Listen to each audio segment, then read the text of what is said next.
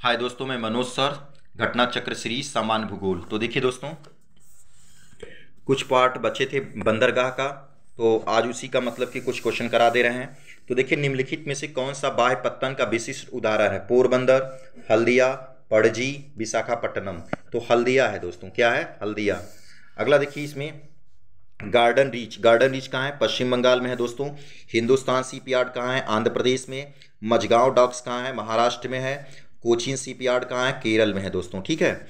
Garden Reach Ship Ship Builders Engineers Limited का diesel engine संयंत्र अवस्थित है। बोकारो, आदित्यपुर, कांड्रा, रांची।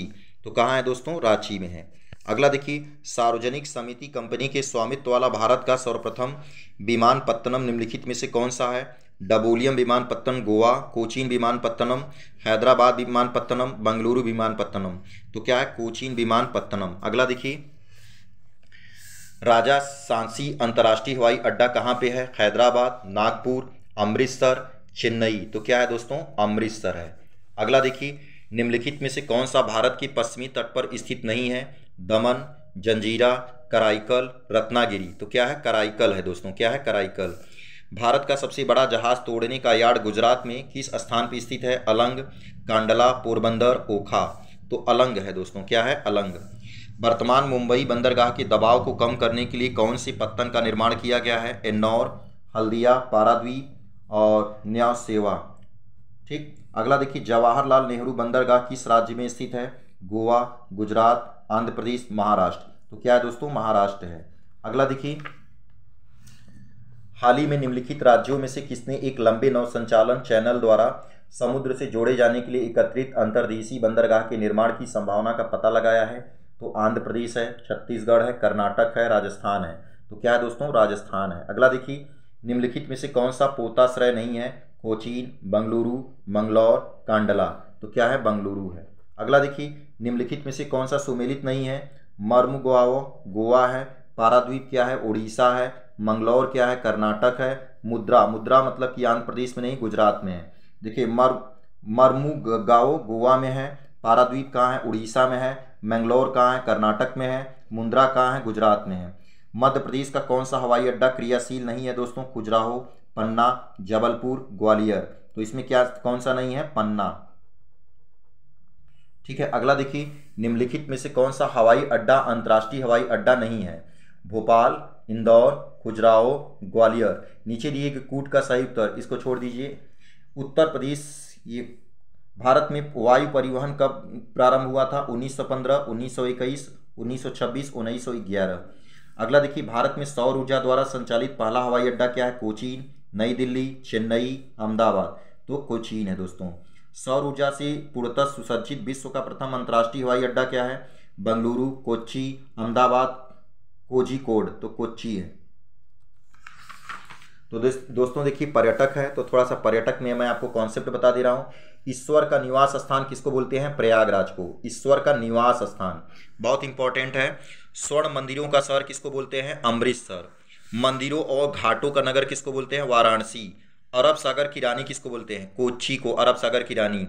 पूर्व का बीनीस किसको बोलते हैं? कोच्चि को। त्योहारों का नगर किसको बोलते हैं? मदुरई। कर्नाटक का रत्न किसको बोलते हैं? मैसूर। गुलाबी शहर किसको बोलते हैं? जयपुर। पूर्व का पेरिस किसको बोलते हैं? जयपुर। भारत का पेरिस किसको बोलते हैं दोस्तों जयपुर भारत का स्विट्जरलैंड किसको बोलते हैं कश्मीर भारत का मिनी स्विट्जरलैंड किसको बोलते हैं खजियार पूर्व का स्कॉटलैंड किसको बोलते हैं मेघालय दक्षिण का कश्मीर किसको बोलते हैं केरल राजस्थान का गौरव किसको बोलते हैं चित्तौड़गढ़ राजस्थान का प्रवेश द्वार किसको बोलते हैं भरतपुर राजस्थान का थर्मोपल्ली किसको बोलते हैं हल्दी घाटी भारत का हॉलीवुड किसको बोलते हैं मुंबई भारत का प्रवेश द्वार किसको बोलते हैं मुंबई सात टापुओं का नगर किसको बोलते हैं मुंबई इस्पात नगरी किसको बोलते हैं जमशेदपुर भारत का पीटर्सबर्ग किसको बोलते हैं जमशेदपुर भारत का दिल किसको बोलते हैं दिल्ली दक्षिण की गंगा किसको बोलते हैं कावेरी नदी फलों की डलिया किसको बोलते हैं हिमाचल प्रदेश भारत का मैनचेस्टर शहर किसको बोलते हैं अहमदाबाद भारत का बगीचा किसको बोलते हैं बंगलुरु महलों का शहर किसको बोलते हैं कोलकाता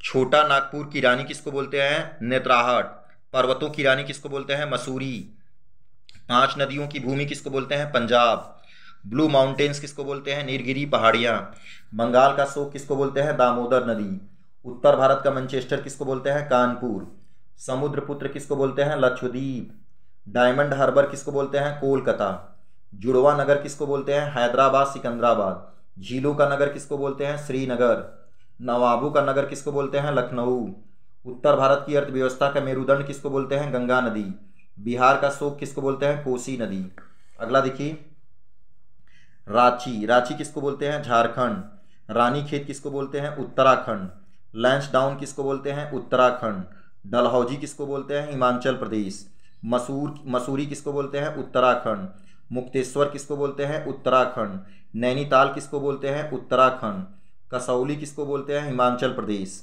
कुन्नूर किसको बोलते हैं तमिलनाडु गंगटोक किसको बोलते हैं सिक्किम मनाली किसको बोलते हैं हिमाचल प्रदेश गुलबर्गा किसको बोलते हैं जम्मू कश्मीर ऊटी किसको बोलते हैं तमिलनाडु पहलगाम किसको बोलते हैं जम्मू कश्मीर दार्जिलिंग किसको बोलते हैं पश्चिम बंगाल कोडाईकन्नाल किसको बोलते हैं तमिलनाडु श्रीनगर किसको बोलते हैं जम्मू और कश्मीर भुआली किसको बोलते हैं उत्तराखंड अल्मोड़ा किसको बोलते हैं उत्तराखंड शिलांग किसको बोलते हैं मेघालय नंदी हिल्स किसको बोलते हैं? कर्नाटक। यारकाट किसको बोलते हैं? तमिलनाडु।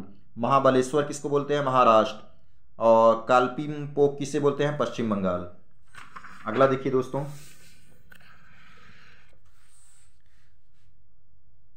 पंचगनी किसको बोलते हैं? महाराष्ट्र।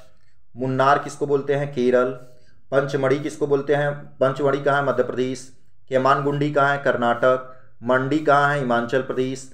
लोआना कहाँ है? महाराष्ट्र। खंडाला कहाँ है? महाराष्ट्र। अगला देखिए दोस्तों। तो दोस्तों, इसका ऑब्जेक्टिव क्वेश्चन कराना बहुत ज़्यादा इंपॉर्टेंट नहीं है। तो आज आपका भारत का भूगोल पूरी तरह से समाप्त हो गया दोस्तों। अब आपका नेक्स्ट जो सीरीज़ चलेगा, वो चलेगा साइंस का चलेगा दोस्तों। और विश्व का भूगोल मैं सात जनवरी की बात कराऊँगा घटना चक्र में। क्योंकि अभी एपीएस का एग्ज़ाम है। एपीएस के एग्ज़ाम को देखते हुए उसमें जिस जो सिलेबस दिया है सिलेबस के अकॉर्डिंग पढ़ाएँगे दोस्तों तो ये वीडियो कैसा लगा दोस्तों? लाइक करिए सब्सक्राइब करिए, धन्यवाद।